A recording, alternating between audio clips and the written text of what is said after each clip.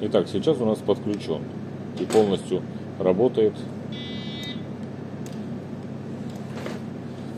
полностью работает джойстик Bluetooth.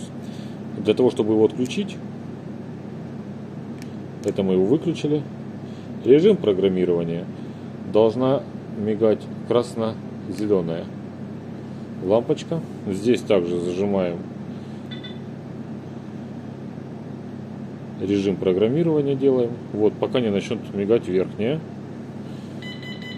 Вот, теперь у нас согласовано.